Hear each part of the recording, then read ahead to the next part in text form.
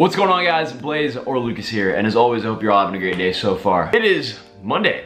Memorial Day, the day that I'm recording this. This video might even go up today. As I start to get more active with making YouTube videos, I hope you guys are cool with making these videos every now and then. I used to make them a lot, just kind of sitting down, talking to you guys. These are honestly my favorite videos to make back in the day. Haven't made one in a while. And it's funny, I actually wanted to make this video the day before I left for Toronto and some happened, I couldn't make it. And then I left for Toronto and I spent a week in Toronto and while I was there, all the crazy stuff with Tfue and uh, FaZe and Banks went down. Before I get into anything here, I just wanna make it 100% clear that I'm really not trying to insert myself into drama. Uh, the day that all this went down, I tweeted some, I don't even remember what I tweeted. I basically tweeted some defending FaZe Clan and a lot of people took it as me like attacking Tfue or attacking like other people. I really don't like drama. The reason that I tweeted that is because there were some people who I thought like really truly my friends who kind of used that opportunity to, to just take shots at FaZe. I wasn't cool with that and got a little emotional. But all the drama, all the business aside, I hope everything gets worked out in the long run. I don't want to take any more time talking about the drama. Uh, that's not what this video is about. This is literally just like a, like a FaZe Banks hype video. And kind of just a, a little bit of a video of me sitting down telling you guys my story. I haven't told it in a long time and there's one part of this that I've like never shared with any of you guys and it involves Banks. So let's get into it. Uh, for those of you guys that don't really know too much about me, when I grew up, I moved around a lot. I went to five different schools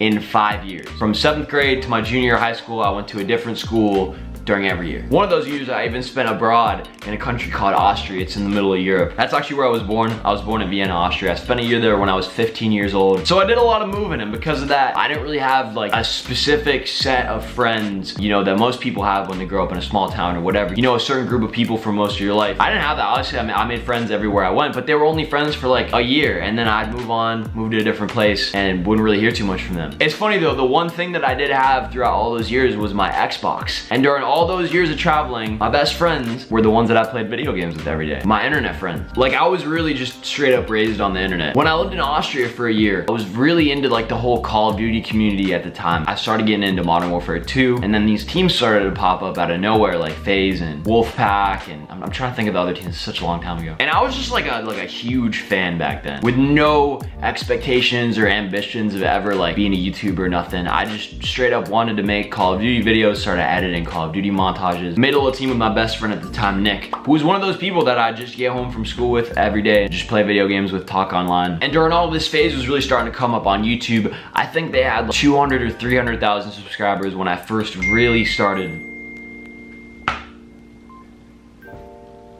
Sorry, I'm on FaceTime. FaZe had around 200, 300,000 subscribers when I became a huge fan of the team and just started watching every single one of their videos. I wanted to be exactly like them, do exactly the same stuff they did, so I started following a bunch of the other teams. Obey, Soar, all these other Call of Duty teams that existed in that world. Everybody's favorite team at the time was FaZe. The team that was right behind them was this team called Soar, which Banks happened to be part of. I don't know if he was a part of the team when I first heard of Soar. I think he was. Bottom line, for as long as I've known Banks, he's been like a, a, leader type, just at the top making decisions. I was like, damn, I gotta get to know this guy. I gotta show him what I can do. Right before FaZe did its first FaZe 5 challenge, Banks got recruited to FaZe. I started going for the FaZe 5 challenges, didn't make it in the first year, didn't make it in the second year. But I started to kind of like put myself on the radar of the FaZe leaders just by making a bunch of YouTube videos and just playing COD. Eventually, through a lot of hard work in high school, my senior year of high school, I ended up joining FaZe, which was like, it's still to this day is my biggest accomplishment, probably will be my biggest accomplishment throughout most of my life life. Yeah, absolutely crazy. I was living at home at the time, just making YouTube videos. This was about halfway through my senior year of high school. Started to grow a little bit on YouTube. I think I had just hit 100,000 subscribers when I joined FaZe. And it still is to this day. Even though you can make good money off YouTube,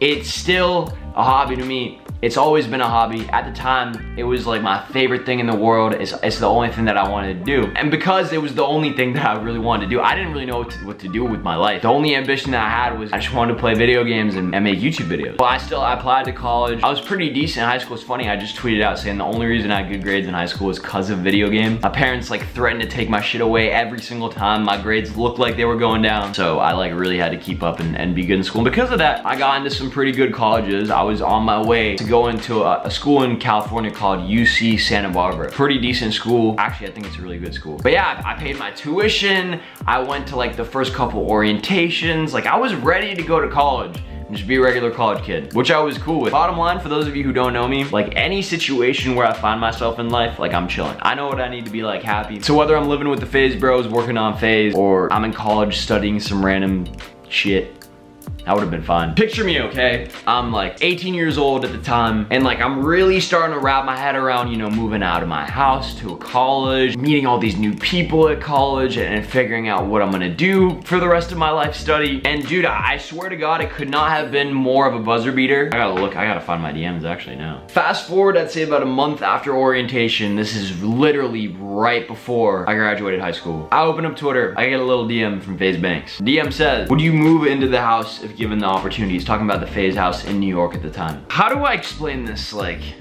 well. I didn't really have like idols growing up. I think Cristiano Ronaldo at one point was like a huge idol of mine because I was really, really, really heavily into soccer when I was super young. But the people that I like really looked up to and just wanted to be like were the people in FaZe. FaZe Rain, FaZe Banks, FaZe Apex, FaZe Temper. Basically everyone who was living at the FaZe house at the time, at the time that he asked me. Just be me for a second, right? Be me again. You're 18 years old, you're thinking you're going to college, and then this dude hits you with a DM and asks you to move into the FaZe house in New York. Okay, yeah, honestly, I really don't remember remember how I reacted.